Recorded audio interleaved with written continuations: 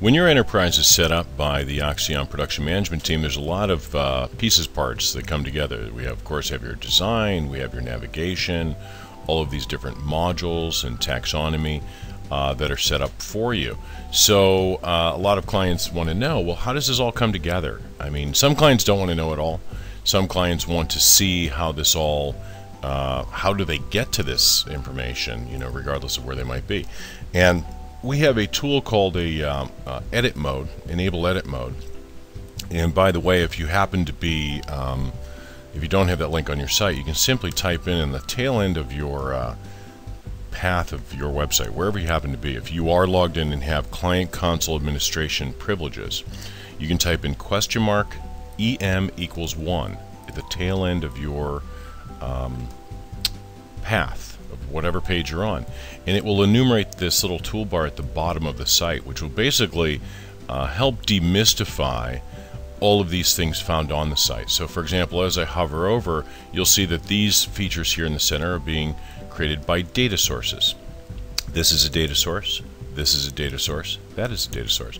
This is a tool that's often used by our team when uh, bringing your site together. So whether I need to access the home page, which is what we're looking at here, or the navigation or, or any module that's being used on the site, you'll see that these all these are all ad zones that you see here. These are banners.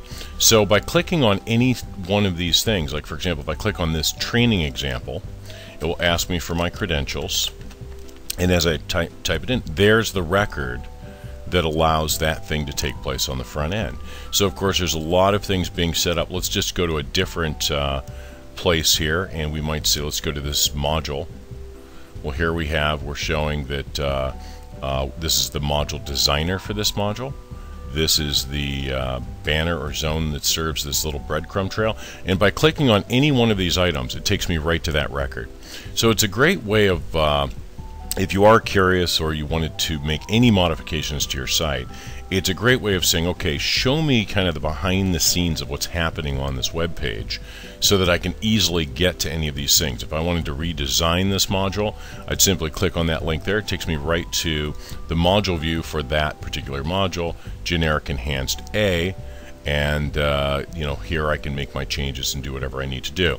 Another nice tool that uh, clients might be unfamiliar with is this uh, called the toolbox and basically all of these little scripts here that are doing all these neat little things um, basically are available right here on the right hand side of our screen. So for example if I wanted to add functionality while in here I'm just going to take this uh, breadcrumb trail and pop it in right there. I'll just say okay so I just added a breadcrumb trail to that page. So all of these tools over here on the left, or on the right, forgive me, are you know, add to cart, breadcrumb trail, printer friendly icons, uh, any single function that you can imagine that might live on a web page is right there. Very simple to manage. So I'm just going to save this and I'm going to return back to my uh, page. I'm going to reload that.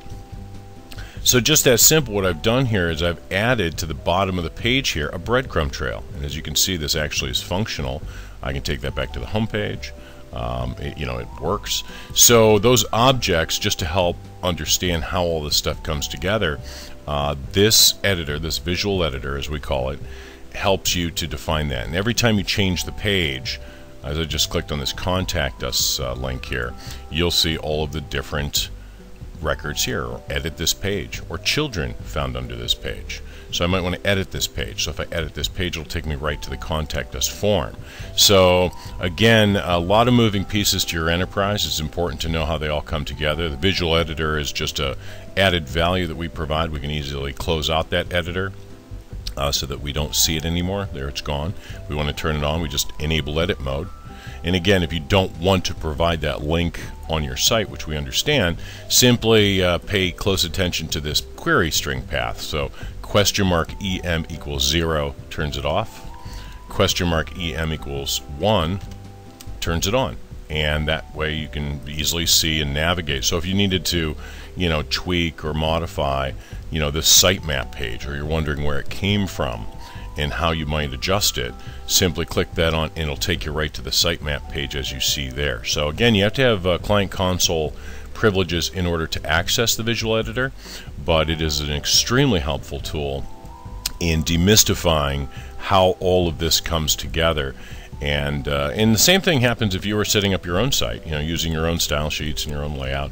Doesn't matter. As you add things to Centralpoint, it's uh, very intelligent and it's keeping track of that so that it'll provide you a guide in which to to manage those things. If you have any more questions, please contact your uh, production uh, management uh, representative, and they can walk you through it. Thank you.